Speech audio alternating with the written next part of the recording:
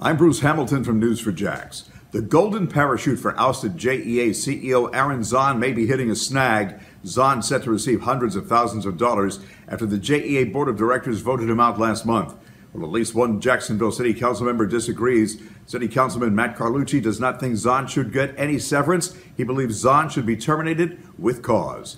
The Florida Chamber of Commerce has taken an initial step toward intervening in a lawsuit in which a political committee is seeking more time to collect petition signatures for a proposed constitutional amendment that would legalize recreational marijuana. The Chamber opposes the proposed amendment and has backed increased restrictions on signature gathering, including a law passed during the 2019 legislative session. SeaWorld is offering free admission to 2020 Florida preschoolers. Parents have to register online for the promotion. The deadline for that is February 3rd.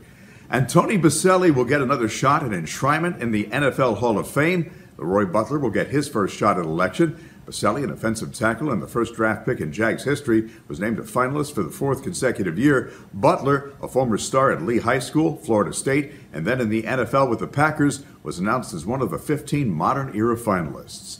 The news continues on Channel 4 and News4JAX.com. I'm Bruce Hamilton. Have a great day.